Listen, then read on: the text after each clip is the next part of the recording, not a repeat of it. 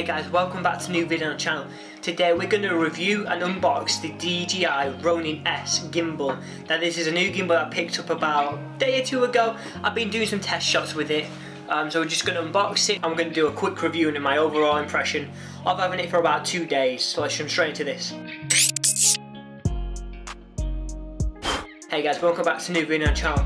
My name is Jack Fernley, I'm a freelance videographer, photographer and video editor, helping you with your video editing and taking your videography and video editing to the next level. I know I've been away for some time, been away for about two weeks, been uploading some old content for you guys, but I am back.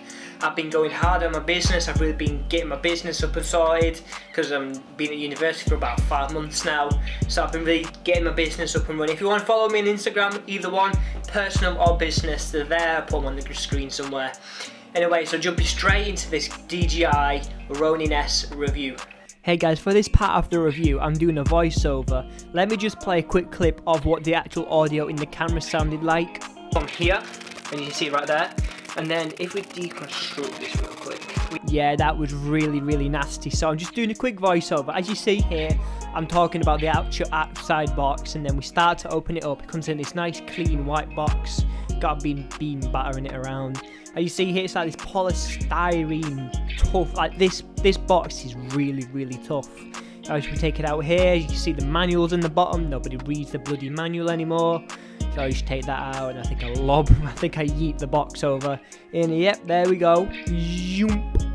And then, as you see here, we've got this, it is a really tough box. So you see here, I'm giving a bit of a pounding, you know, I'm a 6 foot 5 alpha male, and giving a bit of a pounding. And if we open it up, uh, we have the contents now. As I said in the start, I actually took the DJI the gimbal out because I had to do a shoot on the following day that I got this. So I'm just going to take it apart quickly and show you where everything goes. So I think I reach for the, yep, there you go. That's where the um, cables are.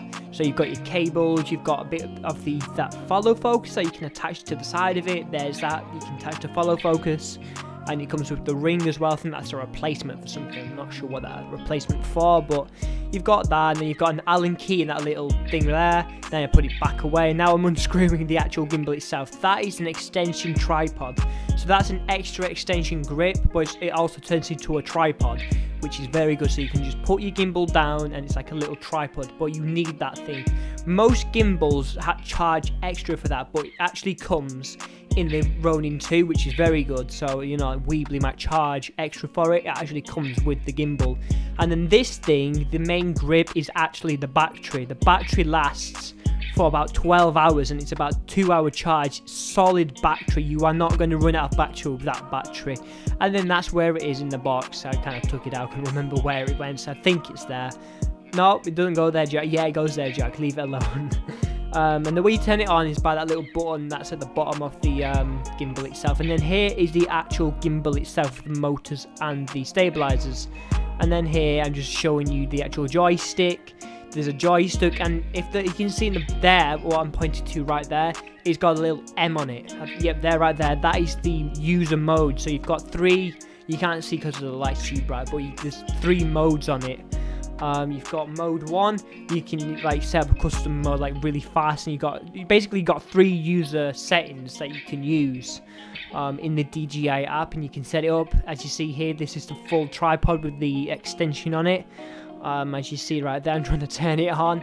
And then it turns on, and then it does a bit of a spaz out, I think. Yeah, it starts to spaz out a little bit. I get a little bit tired, so I turn it off uh, got a little bit scared of me so I turn it off and then you can see it, you can power it off without powering it off. It just puts the motor to sleep which is very good and then you can balance it or do whatever you gotta do really.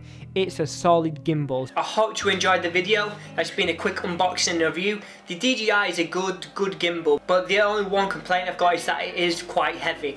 Now once you start adding accessories on you start um, adding I don't know a couple of like LED plates it starts to get quite heavy. That's the only thing that I've got an issue with. But that could be an advantage as well.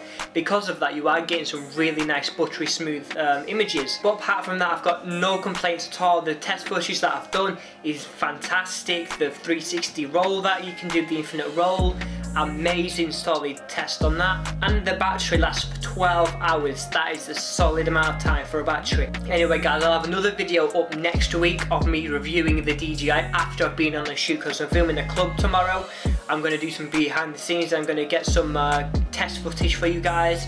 So if you like, if you want to stay tuned for next week when I have a proper review of it, I've having it for about a week or so for reviewing it uh, on, a, on a shoot, stay tuned and if you like what you see here, subscribe to the channel and hit the bell for notifications every time I upload every time I upload a new video. And if you want to help support the channel and creation of future content, go buy me coffee, the link in the description.